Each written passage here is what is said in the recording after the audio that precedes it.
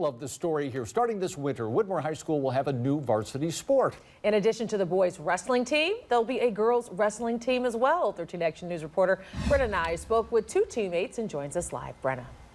Yeah, Christian, the Ohio High School Athletic Association announced on January 13th, 2022, that girls wrestling would officially be a varsity sport under the OHSAA.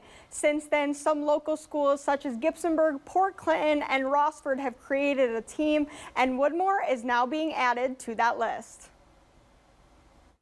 Last Thursday, the Woodmore School Board unanimously voted to make girls wrestling a varsity sport. I'm very excited to have the opportunity to be part of like the wrestling team and be able to be considered a varsity sport. Stella Strong is a junior at Woodmore and says she's excited to see her hard work pay off.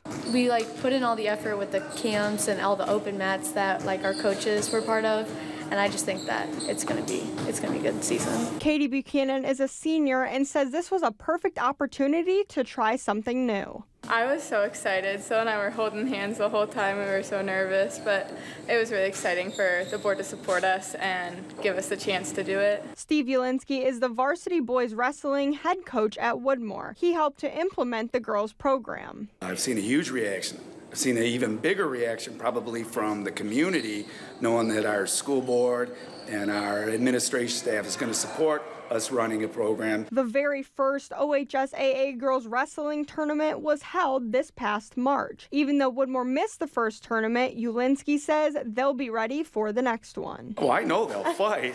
it's just if uh, us, the coaches, can prepare them for, uh, you know, it's a combat sport. If we could prepare them to be ready for some, some schools that are going to have a little bit more experience than us. But I think we're up to the task.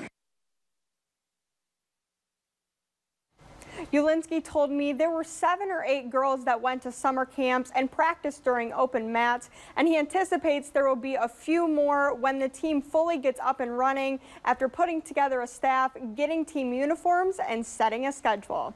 In studio, Brenna Nye, 13 Action News. Now,